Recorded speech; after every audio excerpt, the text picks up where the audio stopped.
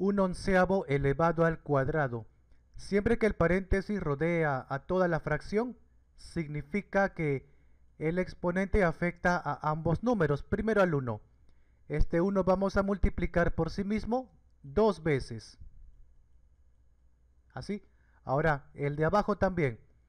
11 vamos a multiplicar por sí mismo dos veces. Siempre el exponente te dice cuántas veces multiplicar. Arriba 1 por 1, 1. Debajo 11 por 11, 121. Respuesta.